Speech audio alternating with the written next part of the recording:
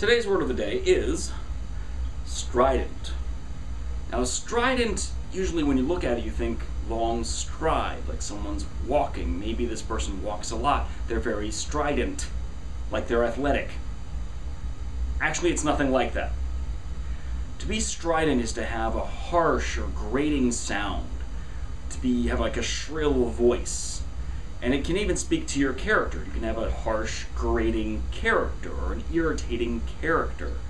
So, let's see, how can I use this in a sentence? Um, Dear Merriweather, um, it seems that Miss Hagaba just.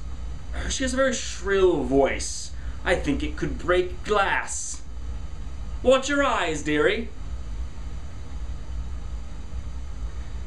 That was a that was a little more silly than I thought it would be. Um, yeah, just gonna gonna close out now. Keep reading. Bye.